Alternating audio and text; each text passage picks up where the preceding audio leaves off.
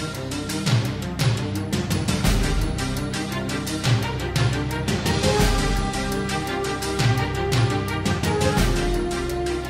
Operação realizada pela equipe do Tático Móvel no bairro Goiás, na cidade de Araguari, chegou à apreensão de vários materiais: 28 pedras de crack, 30 gramas de uma substância semelhante à maconha, 20 gramas de uma substância semelhante à cocaína, 110 reais em dinheiro e uma faca que pode ter sido utilizada em um homicídio. Na verdade, duas pessoas em uma motocicleta teriam se aproximado, um homem e uma mulher, e uma delas teria questionado se ele estava, se ele tinha drogas.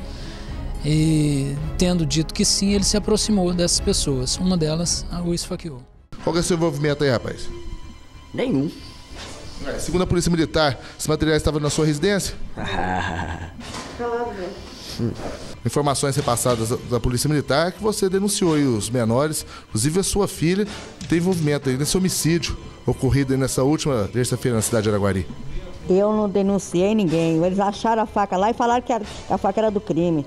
Você que cometeu o crime ali, naquele jovem ali, no caso, nessa noite de uma, última terça-feira. Você quer falar a respeito do crime?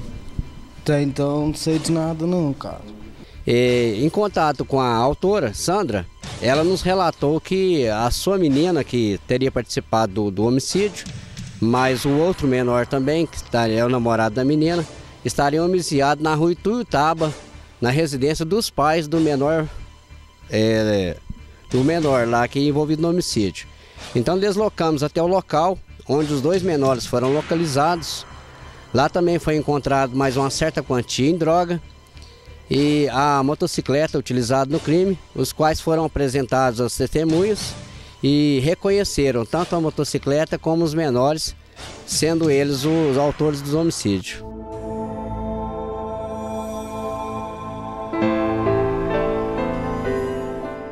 Tô com a esposa do Maicon, que foi vítima de homicídio na cidade de Araguari, que vai me relatar como foi o fato ocorrido aí nessa noite da última terça-feira aqui na cidade. Como é que foi?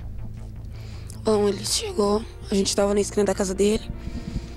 Esse rapaz, mas a menina passou de moto. E o Maicon perguntou se eles tinham droga, ele falou assim, tem. E já tirou a faca e foi enfiando nele você vê numa situação como essa, envolvimento com o tráfico de drogas, agora você pensa em largar desse mundo? Com certeza. Agora eu vou cuidar do nosso filho. Vocês têm um filho junto? E eu tô grávida de novo também.